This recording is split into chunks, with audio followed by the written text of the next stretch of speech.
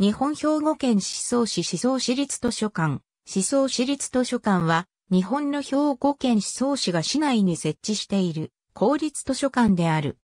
本館は、市南部の山崎町にあり、他に一分館と二分室が置かれている。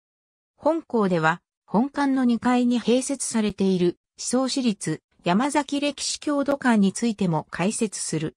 前身となる山崎町立図書館は1960年に原本館と同じ場所で竣工した下村記念館に併設する形で開館した。同記念館は山崎町出身で下村伝友社製作所創業者の下村仁氏から京里への公会堂建設寄贈の申し出を受けて建てられたもので公会堂の一角に併設して開館した町立図書館は思想群内において初めての常設型図書館とされている。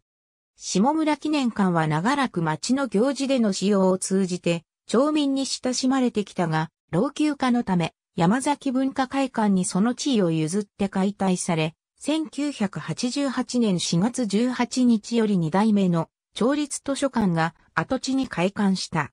2005年、山崎町が一宮町、千草町、羽賀町と合併して思想市が成立したことに伴い、思想市立図書館に改称した。この時点では、他の3町には公立図書館がなかったため、必然的に旧山崎町立図書館が市内唯一の常設型公立図書館となった。その後、2015年には、市北西部の千草町で、初の分館となる千草図書館が開館している。同年11月1日からは、播磨県域連携中枢都市圏に参加する市長の公立図書館館で相互利用ができるようになった。対象は、姫路市、相生市、加古川市、赤穂市、高砂市、葛西市、辰野市、加古郡稲美町、播磨町、神崎郡市川町、福崎町、上川町、伊保郡大使町、赤穂郡上郡町及び、佐用郡佐用町の居住及び通勤、通学者で共通カードはなく、利用券を個別に発行する。2005年4月1日に、旧山崎町立図書館から解消し、現在の官名となった。1970年設立の万端図書館、連絡協議会には、山崎町立図書館の時代から参加していない。千草町では、市民局併設の図書室及びたたらの里学習館内に、畜産ミニ図書館が設置されていたが、2015年4月に市内初の認定子ども園として開園した畜産杉の子ども園に隣接して新たに畜産図書館が開館した。合併前の旧庁が設置していた図書室を引き継いだ以下の2分室がある。上記のほか、移動図書館、笹百合号が市内を巡回している。山崎歴史郷土館は、旧山崎町の郷土博物館として、山崎町立図書館と同日、図書館の2階に開館した。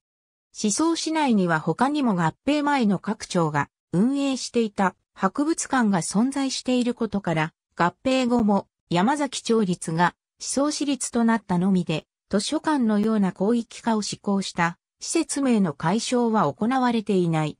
山崎陣屋跡地を整備した本田公園に隣接しており、旧山崎町内で出土した考古遺物や山崎藩、本田市関係の資料を中心に展示している。本田公園内にある山崎歴史民族資料館と混同されることが多いが別の施設である。山崎歴史民族資料館は普段閉館しており、歴史郷土館の職員に見学したい旨を伝えて、鍵を開けてもらう。思想史読書活動推進計画、11ページ。兵庫県図書館協会法ナンバー698市八丁図書館、総合利用地草図書館の建設について、図書室、遊戯室、行政窓口、思想、一宮市民共同センター完成。神戸新聞ネクスト https コロンスラッシュスラッシュ www.kobe-np.co.jp スラッシュニューススラッシュ seiban スラッシュ202004スラッシュ